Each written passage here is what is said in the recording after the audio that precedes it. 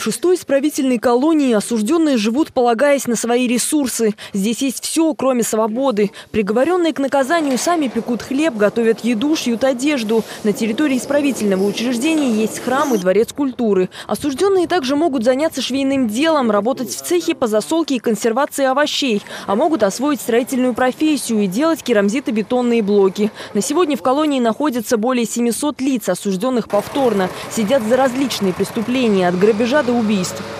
В шестой исправительной колонии на производствах трудятся более половины осужденных. Вопрос трудоустройства один из ключевых. Это позволяет заключенным не только зарабатывать деньги на свои нужды, но и выполнять исковые обязательства.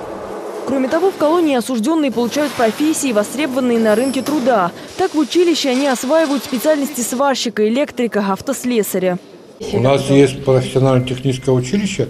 Мы каждый год готовим специалистов. Практически у нас ни один осужденный не освобождается без специальности. Причем не просто на словах специальность, а диплом всероссийского образца, умениями. Между прочим, у нас очень большой спрос на наших выпускников ПТУ.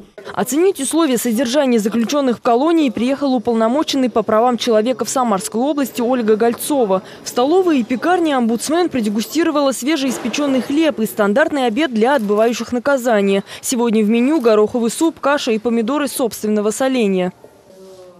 После осмотра всех помещений Ольга Гольцова совместно с сотрудниками прокуратуры и руководством ФСИН провела прием осужденных по личным вопросам. Обращаются с вопросами помочь по условно-досрочному освобождению.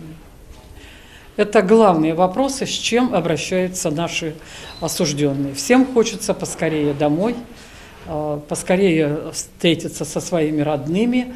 И большинство а, людей, с которыми мы встречались сегодня, они а, не прервали связь со своими семьями, их ждут дома, у них есть дети. Уже в этом году на территории шестой колонии появится еще один цех для производства бытовой химии. Сюда трудоустроят 100 осужденных. В месяц планируют изготавливать 800 тонн моющих средств для торговли в Самарской области. Мария Илчан, Василий Колдашов. События.